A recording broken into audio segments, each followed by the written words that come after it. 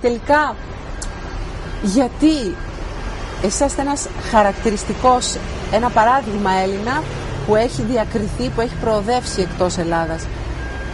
Τι συμβαίνει στην Ελλάδα και δεν μπορούν οι άνθρωποι να προοδεύσουν και να διακριθούν όσο ξεχωρίζουν όταν είναι στο εξωτερικό; Και στη δική σας περίπτωση συγκεκριμένα. Ποιες ήταν οι συνθήκες που σας επέτρεψαν να κάνετε σωστά τη δουλειά σας; Ε, νομίζω ότι αυτό είναι ένα θέμα κάπως πολυσυζητημένο. Οι Έλληνες στο εξωτερικό είναι πάρα πολύ πετυχημένοι. Η ελληνική διασπορά έχει ε, πολύ άξιους ανθρώπους και στις τέχνες και στην επιστήμη ε, και επιχειρηματίες πολύ επιτυχημένους.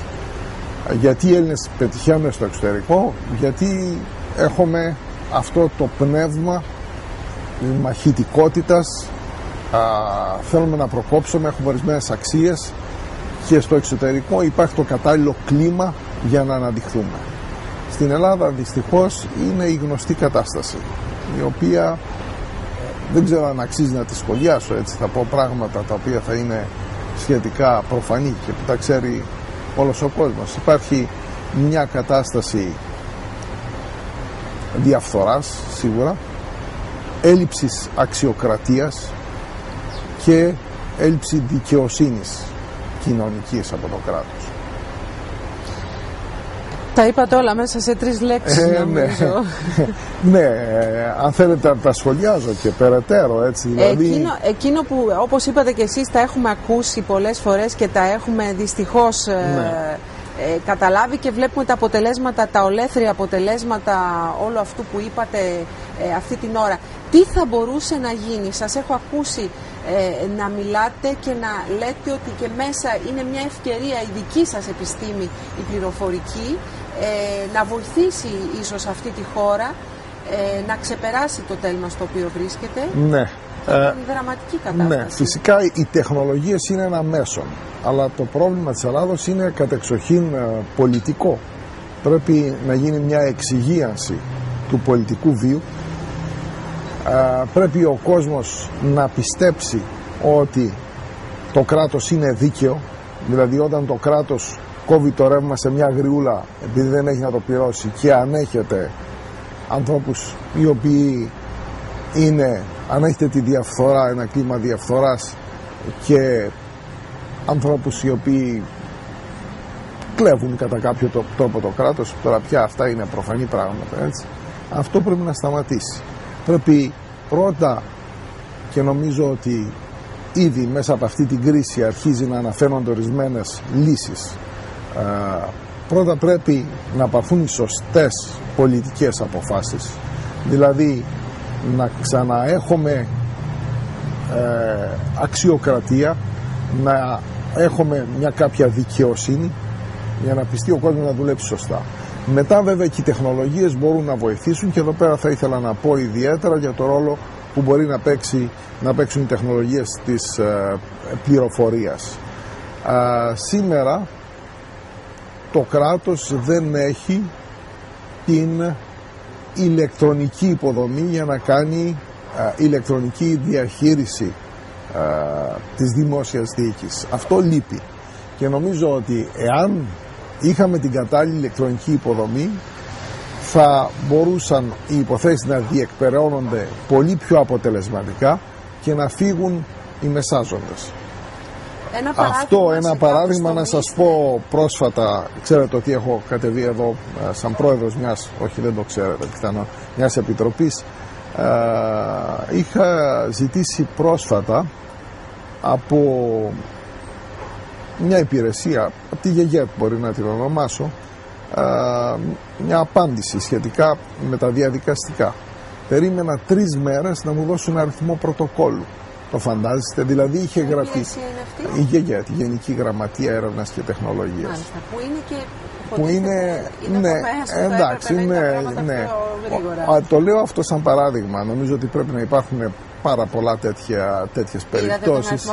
Ναι, αλλά μετά τρεις μέρες. Δηλαδή αφού του είχε γραφτεί το χαρτί, τρεις μέρες μετά γιατί ενώ ο αριθμός πρωτοκόλλου θα μπορούσε να δοθεί από ένα σύστημα αυτόματα. Δηλαδή τη στιγμή που γράφω το έγγραφό μου και είμαι στο ηλεκτρονικό σύστημα, το σύστημα μου δίνει ένα αριθμό πρωτοκόλλου. Δεν χρειάζεται να έρθει κάποιος άνθρωπος που είναι υπεύθυνος για τους αριθμούς πρωτοκόλλου.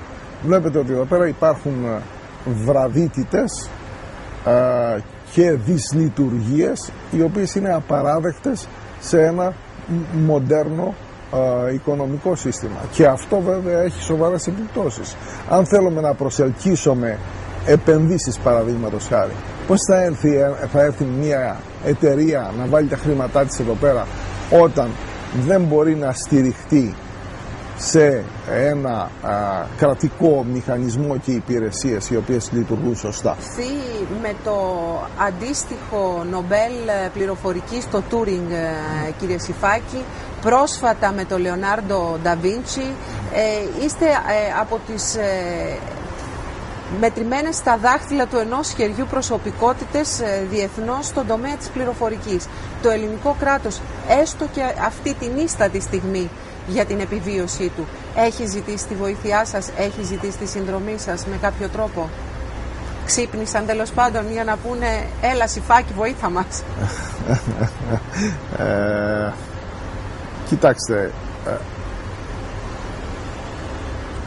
είναι μια δύσκολη ερώτηση, είναι δύσκολο να απαντήσω σε αυτή την ερώτηση.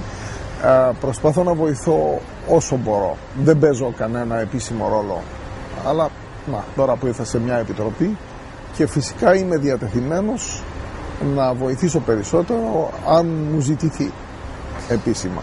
Ε, εάν σας, ε, υποθετικά σαν δημοσιογραφική ερώτηση, ε, τα, τα ένα, δύο, τρία που θα λέγατε πρώτα ε, για την εφαρμογή ε, και την χρηστική εφαρμογή αυτή τη στιγμή της, των, της τεχνολογίας στην Ελλάδα, στην ηλεκτρονική διακυβέρνηση, ποια θα ήταν, σε ποιους τομείς, από πού θα ξεκινούσατε; Ή θα ήταν μια ομπρέλα για να μπορέσει πια να, να διασυνδεθούν ε, με τον κατάλληλο τρόπο εποφελία των πολιτών, των Ελλήνων πολιτών, ε, όλες οι υπηρεσίες; κοιτάξτε, πρέπει να γίνει ένας εξυγχρονισμός όλων των υπηρεσιών και νομίζω ότι η παρούσα κυβέρνηση έχει πάρει ορισμένα μέτρα. Υπάρχει ε, και ένας ε, υπεύθυνος που έχει οριστεί για την ε, καινοτομία και για τον εξυγχρονισμό και αυτό νομίζω ότι είναι ένα πολύ ε, σοβαρό βήμα. Ένα θετικό βήμα. Είναι ναι. θετικό βήμα, ναι. Κύριε Σιφάκη, θα παίρνατε μια πρωτοβουλία μέσω ίντερνετ ε, για την καλύτερη φήμη της Ελλάδας; Και πώς έχετε αισθανθεί τα τελευταία τρία χρόνια στο εξωτερικό; Νομίζω ότι η κατάσταση διαφέρει ανά χώρες. το κλίμα στη Γαλλία είναι αρκετά φιλελληνικό θα έλεγα γιατί έχουμε ένα σημαντικό κεφάλαιο συμπάθειας από τους Γάλλους, διαλόγους ιστορικούς και πολιτιστικούς. Όπως ήταν πάντα δηλαδή. Όπως ήταν ναι, πάντα. Ναι. Ε, νομίζω ότι τουλάχιστον στη Γαλλία δεν το είδα αυτό. Το είδα ίσως σε άλλες χώρες, μερικές φορές. Εγώ ποτέ δεν φυσικά απαντούσα σε, σε προκλήσεις αλλά ήταν σπάνιο αυτό το πράγμα. Αυτό που θέλω να πω είναι ότι τώρα και οι Ευρωπαίοι αρχίζουν και καταλαβαίνουν ότι η κρίση είναι γενική και η κρίση φτάνει και στη Γαλλία. Οπότε ίσως καταλαβαίνουν καλύτερα τους Έλληνες από αυτή την άποψη. Ε, και στη Γαλλία και στη... είχε φτάσει και στην Πορτογαλία και στην Ισπανία. Ναι, αλλά, μιλάω ιδιαίτερα για τη Γαλλία. Έχω δηλαδή, την νομίζω αίσθηση ότι... ότι σε ό,τι αφορά ε, την επικοινωνία, ε, επικοινωνιακά έχουμε πάρει την, την, πιο μεγάλη δόση, θα έλεγα, ε, κακής φήμης ε, όλο αυτό το, όλα αυτά τα τρία χρόνια. Ναι, ίσως αυτό καλλιεργείται και από ορισμένα μέσα μαζικής ενημέρωσης στο εξωτερικό αυτό επίσης που προσπαθώ να εξηγώ πολλές φορές και το καταλαβαίνει ο κόσμος είναι ότι ε, αν φτάσαμε στην Ελλάδα σε αυτή την κατάσταση δεν είναι επειδή ο κόσμος είναι τεμπέλης γιατί νομίζω ότι ο Έλληνας δουλεύει πολύ περισσότερο από άλλους Ευρωπαίους ιδιαίτερα κάτω από τις σημερινές καταστάσεις και την πίεση που υπάρχει. Ε, και αυτό νομίζω επίσης που πρέπει να τονιστεί είναι ότι το κλίμα διαφοράς και παραλυσίας που έχει, έχει εγκατασταθεί στη χώρα μας είχε αναπτυχθεί με την ανοχή ορισμένων ξένων οι οποίοι σήμερα έρχονται και μας επιβάλλουν τα μέτρα λιτότητας. Και αυτό το καταλαβαίνουν οι ξένοι.